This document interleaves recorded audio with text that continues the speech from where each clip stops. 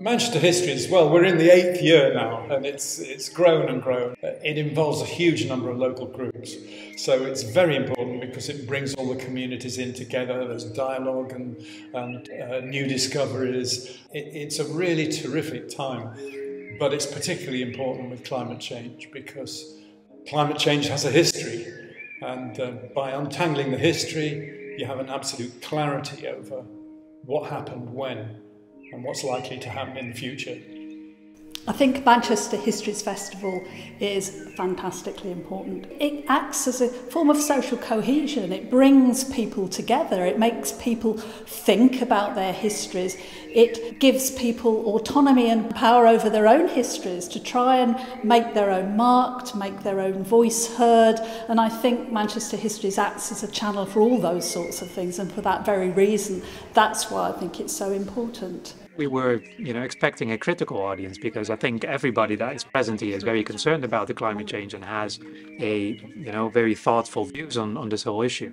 So I think it was very instruct, uh, instructive for us as well to, to, to be able to learn from the views from the audience. It's good to hear other points of view. And I think out of that more kind of productive side of things, I think that it will just make me more open to working with a diverse set of people because there's so much in taking in different opinions. Festivals like this bring a very wide range of people to them who are just interested in the world and interested in asking questions and for me it's always wonderful to address an audience like this. Festivals like the Manchester History Festival are really important, it's really great, there's a lot going on here, it seems to be like a really nice way for, you know, you need to have these events for people to talk and for us it gives us a chance to talk to other people as well who are here and connect with people, so they're really vital. Been having some really wonderful conversations with the people at the Histories Festival and it's, it's really nice to be having those sort of more in-depth conversations again with people.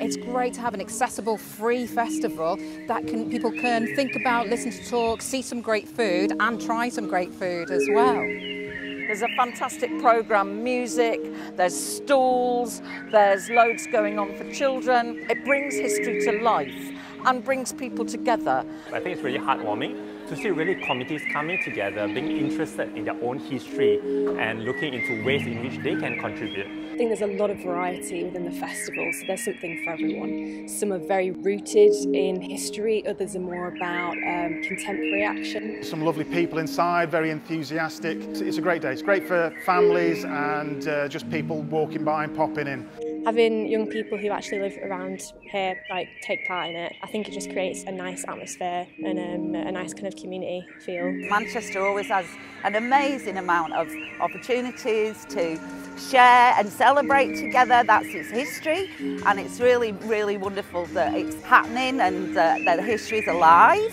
I'm a great believer that until you start to understand the past, you don't really shape the future. So it gives you a great opportunity to showcase history really. It's great to see this is an extraordinary tradition which is still going strong and it needs people to get behind it, attend these events and be amazing and be inspired and change the world.